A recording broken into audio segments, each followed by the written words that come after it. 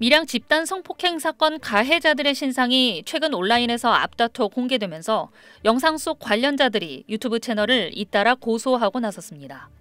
경남경찰청은 밀양 성폭행 사건 가해자 신상을 공개한 유튜브 채널에 대해 명예훼손 혐의로 다섯 건의 고소장이 접수됐다고 밝혔습니다. 고소인들은 한 유튜브 채널이 당사자 동의 없이 무단으로 개인 신상을 공개해 명예가 훼손됐다는 취지로 고소장을 제출한 것으로 알려졌습니다. 이들 가운데는 가해자로 지목돼 직장에서 해고된 남성과 가해자의 여자친구로 잘못 알려진 여성 등이 포함된 것으로 알려졌습니다. 이 여성과 관련해 해당 유튜버는 당사자에 대한 공격을 멈춰달라며 사과하기도 했습니다.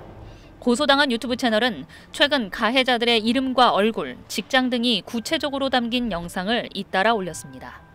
최근 이 채널에서 공개한 영상들이 수백만 건의 조회수를 기록하자 다른 유튜버들도 잇따라 가해자의 신상을 공개하고 있습니다.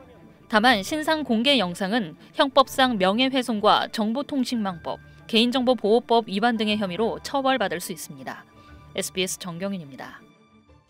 다음 소식입니다. 20년 전 발생한 밀양 집단 성폭행 사건이 재조명받고 있죠. 이 사적 제재 논란 속에서도 가해자로 지목된 인물들에 대한 신상 폭로가 이어지면서 후폭풍도 계속되고 있는데요.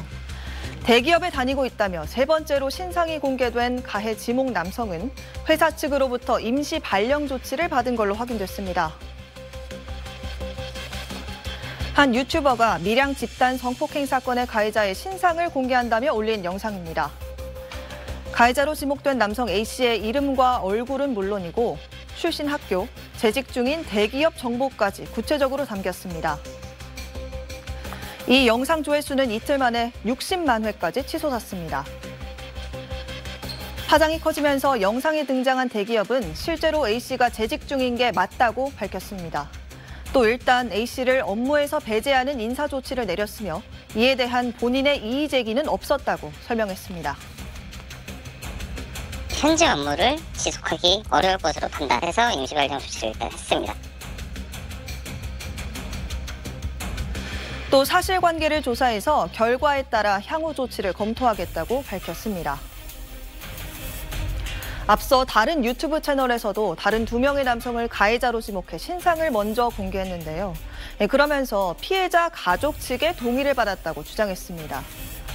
하지만 피해자를 지원하는 단체 중 한 곳인 한국 성폭력 상담소는 반발하고 나섰는데요.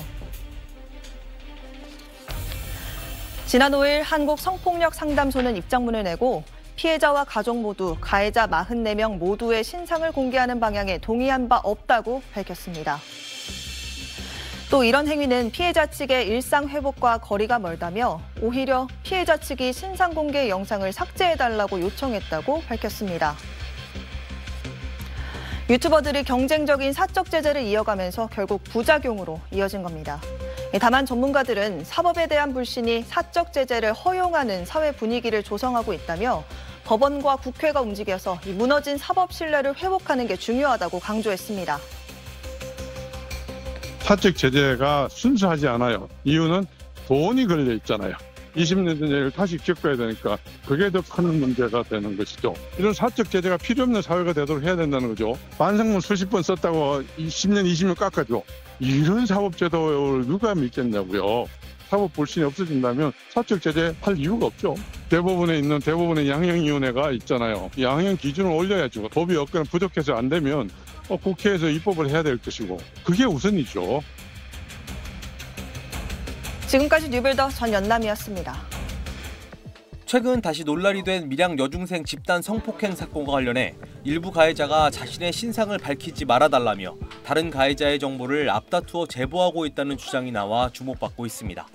최근 가해자들의 신상을 차례로 공개하고 있는 유튜버 나락보관소는 자신의 채널 게시물에 댓글을 통해 이 같은 사실을 밝혔는데요.